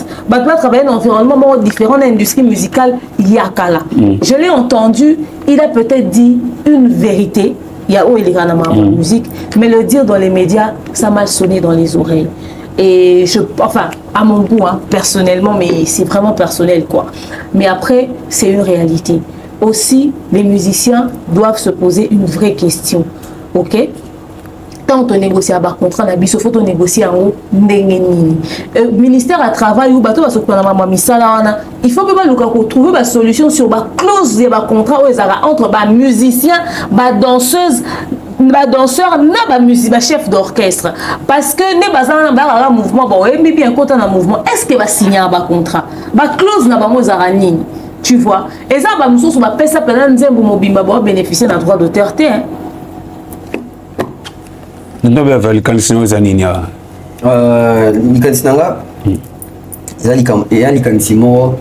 ya moto asali constat que musique ya congo ondie nano ekomi prête te mpo na ekoma professionnel à 100 na entièreté na yango mobimba parce que baheritier baza nouvelle génération en termes que baba leader ya lelo oke to compter kala ezalaki tondo compter loi mbo franco mais lelo to compter ba héritier nde baza wana ba ferre ba fali baza bato bazo vivre na époque oyo eza so ndenge moko te na époque ya bawera to baza ba leader na époque ya ba mm. kofi ba époque ya ba madilu etc bango baza bato bazo vivre na époque oyo industrialisation musique ekomi élevée badaju bani epuis babimaka libima libanda bamboka yango bamona mm. kaka bango mpe na baplaton nde bapesaka biso ke daju mikolo nde ya danger mm. bango mpe bazala bato oyo bazali facilement bakoki kocomprendre mpe kocapte makambo nde ezokende lelo na monde pourquoi je dis ça héritier qui dit que bato ni répartition mbongo nde bosalaka wana eza ndenge nini abinzembo na nga album na nga mbongo ya nga donc omoni même pas place moko asignifie ke bamusicien bazwaka boye mm. ou bazwaka boye par rapport ya mosala boye je me suis posé une question ebi bon soki héritier alobi boye epuis azweli yango même exemple mpo omona ete ke ye te moto abandi yango ke wera mpe ande kosala alors c'était un bon exemple ou ouais, exemple ya mabe soki ezalaki exemple ya bien en quoi ezozala bien ozala enrichir yo moko bandeko bazotanga baye mpo na yo mosala na bango eza nini rémunération na bango eza ndenge nini bana bacharge te hmm. soki eza mabe mpo ani acontinue nango alors ke bango baza bato efe baya na cassure bango baza bato efe baya sikoyo bite bavie basalaki boye biso sikoyo tosala boye tochange je très bien eza te mpo biso tokemba bango mpe fo bakemba hmm. eh, wenge kenda bongo hmm. ntango bajile kibes bakemba eh, kemba petit bongo te fali asala emission mwana na ti lokole makambo ya 20 oyo alobi nga kutu nakendaka cope na nga makambo na nga nake na poto na enregistre album urbain oyo bango batya ata voi te hmm. mais ntango ekomaka ifo nabeta baconcert nazwi bango nake na bango na bacontrat na nga epuis nazotokabola mbongo hmm. je pense que là c'est encore un moyen un peu plus clair ya koexplike makambo ya cope na nga nakoki kokanga mbongo nga moko mais na mosala bango bayembaki te na memi bango na voyage na bango na futi bango nini bango prestation parce que ntango aloba yango liboso ekreaka makelele parce que les gens ne l'ont pas aloba liboso ya papol aloba papol 80 pourcent wana bato bacomprena yango te après il est venu s'expliquer à nouveau hmm. tokos mais soki ozwi album tokos oyoka vo ambasi te oyoka natan te oyoka bango te hmm. mais soki ake batourne neti bareno azobeta ouverture mingi eza mpo na baalbum wana international hmm. mais azokenda bango sur scène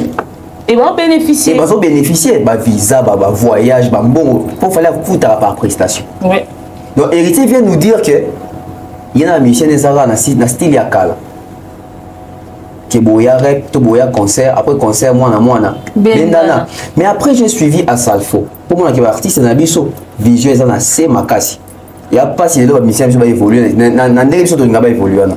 asalfo alobi azo akoti classe azosala baétude moko euh, je crois euh, euh, akosoutenir soki adefendre thèse na ye sur les droits d'auteur azosala yango mponi azosala yango parce que azolinga ainstaurer système moko boye ke baartiste africain bakoka kovivre na badroit na bango mm. donc au moment où asalfo qui est dans la même génération qui héritier en termes d'âge héritier aza na 42 ans asafo je crois aza na 45 ou 44 mm. donc baza baya mosika te héritier et puis asalfo azomene baétude mpo baartiste africain bakoma indépendant baroulaka bango so te mpe baproducteur bavivaka na badroit na bango asalfo chez nous ici qui fait ça moto aza sense kutobenga légende mais tala salfo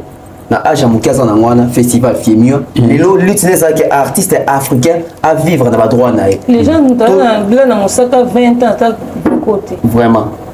ta merveille nani omba mhm. asali combien ona 18 ans ozomona ke bavieux na biso to balegende na biso baleader na biso bango bit na bango eza koetouffe nouvelle génération mais tala salfo biti nde ezalaki aexpose apesa lumière femi a festival ya monene eza na afrique moto aboya yango aza te e lelo tala nini azosoutenir wana na chute awa biso bademeure bamombaya baidor bavaldi biso tu na poto brigade asala video moko boye kiake na sasem hmm. apporte wera na hmm. kofi plainte mpo na badroit na ye ozomona teke likanisi ya salfo eza likanisi ya malamu mpo na kotya baartiste na abri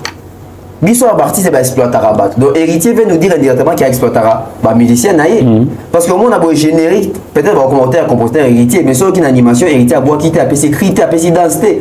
mm. ndenge ezalaka na balbum ya kala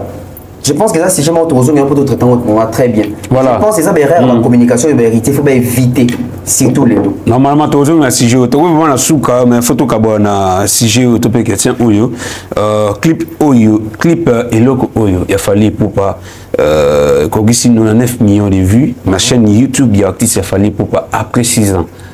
baimpression na eza nini tonto abeve rapidement pour que toza mpe bavie ya demer nyangi la coach lelo nayo comprendre que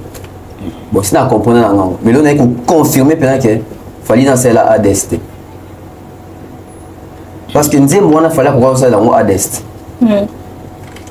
tala banzembo esaka e, e, e, basalela yango adest omona boye 24 heures 1 million de vues hmm. zonga 2 ans après 1 million 200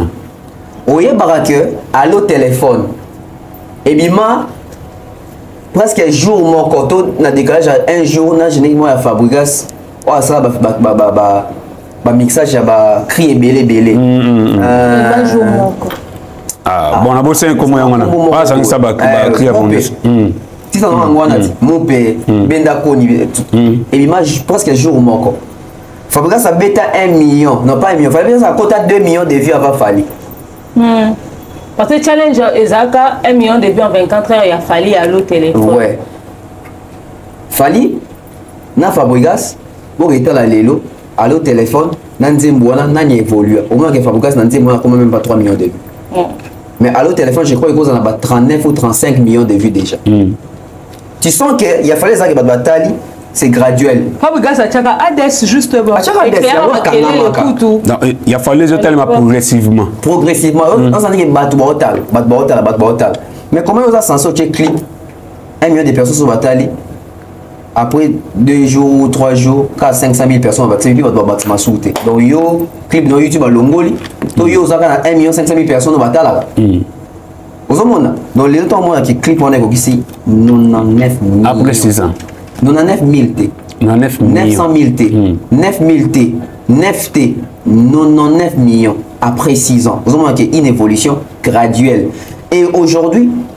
c'est le même album wana nde epesa fali disque d'or ba single d'or ba single platine ba export donc tu sens que c'est un album oyo mpenza fali azwaki temps c'est une vision vraiment je dirais bien réalisée mm. en quelques secondes nana question moko avo chite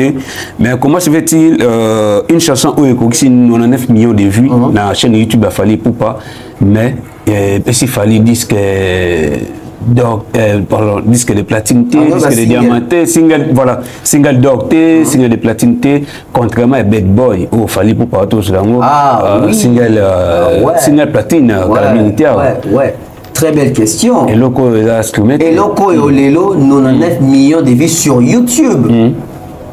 mais en terme ya single d'or nanu eloko oyo ezwa single d'or te mpe nanu ezwi single d'or te mm. pourquoi parce que bastream na yango eza na se par rapport ya banzembo mosusu mm. en fait bato fo oyo eloko moko bastream bakonta yango te na youtube bastream bakonta yango esika batye yango mpo boyoka yango en audio mm. bostreame etc donc na spotify nanu ekokisi sei wana te facilement omoni bad boy to kinam ekokisaka sei wana je crois ya 15 millions de stream mm. yango nde ezwa basingle d'or et même euh, euh kinam et plutôt bad boy est mm. doublé yango ezwi platine donc moi je pense que bafanatique ya fali bazala fier ke basali 99 millions de vues mpo na clip wana mais bapesa yango single d'or mpo bavaloriser yango parce que c'est les clips les plus vus de la musique de l'histoire de la musique mm. congolaise voilà. pour une chaîne congolaise d'un mm. artiste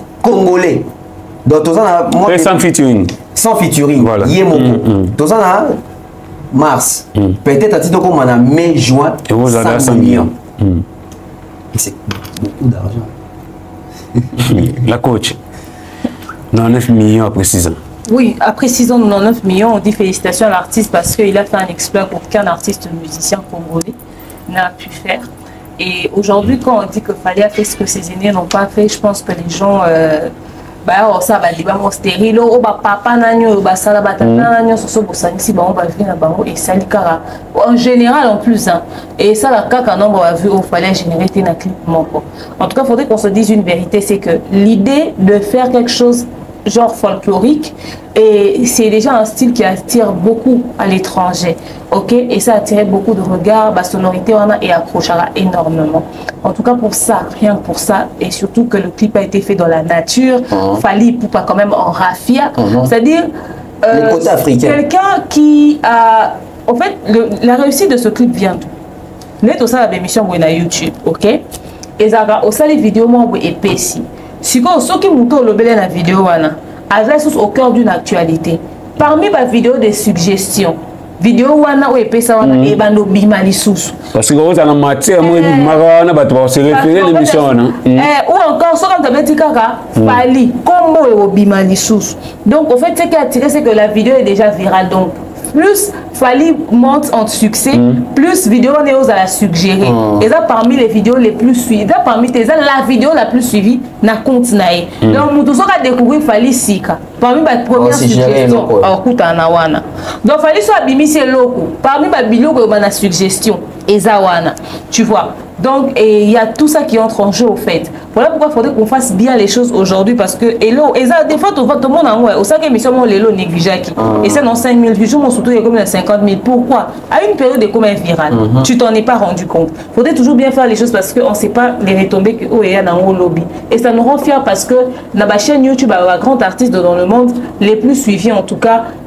ezalaka na banombre wana ou d'ailleurs même certains au moins okebi te okeyi mpe biro na boye peut-être aa na chaîne na nzembo moko te eza na banombre de vue wana okeyi mpe artiste mwa monene à l'international peut-être aza na nombre de vue wana te ok mais mon plus grand regret pour ce son là c'est que oui on a autant de vues sur youtube mm -hmm. mais on n'a pas un single d'or avec ce son là les streams les streams ça veut dire que les fans n'ont pas suffisamment streamé pourtant aa na banzembo oyo azwi nango basingle dor lokola babed boy kuta ekomi na euh, nini platine single de platine ok mais wana ni single dor ni single de platine ok que les fans puissent essayer un peu de, de booster le son en cette période ce qui peut aider à ta single d'or et au sein la biso du sous bien davantage en tout mm. cas j'espère qu'ils pourront retrouver ça facilement et, et qu'ils pourront donner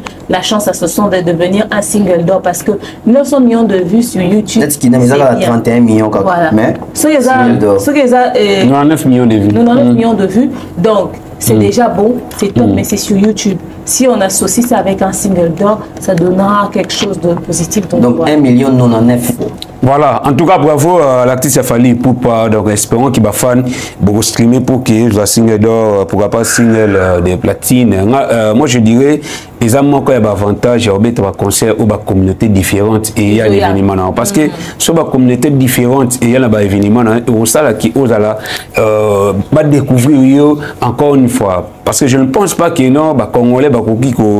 koluka kokota so kotala koretala eloko oyo parce que biso totala toretala tala donc ce qui est sûr ce sont euh, les communautés différentes les communautés étrangères